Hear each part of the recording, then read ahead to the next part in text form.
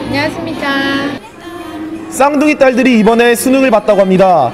수능 본다고 고생 많이 한 딸들과 뒷바라지 한다고 더욱더 고생 많이 한 부인과 함께 영화 한 편 보고 싶다고 김기생 씨께서 사연 보내주셨습니다.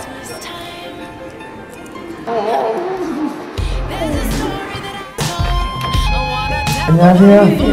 예, 김기생 씨. 예, 맞습니다. 예, 예, 예. 출강합니다. 오늘 사연의 주인공입니다.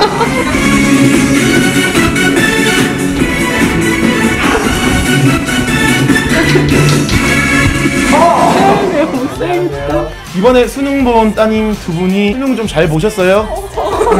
잘 보던 못 보던 잘 보던 못 보던 선물을 공개하도록 하겠습니다. 하나 둘 셋. 골든크레스 영화 아이템의 거뭐다 같이 좋은 데서 볼 수 있게 돼서 어, 고맙고. 대학 가서 열심히 생활할게요. 잘 보던 못 보던 걱정 마세요. 행복을 여세요. 메리 크리스마스. 오늘 이런 걸 다. 어, 사양은 하지 않을게 예, 아이고, 조그만 건데. 예. 참 이런 대접 처음이에요.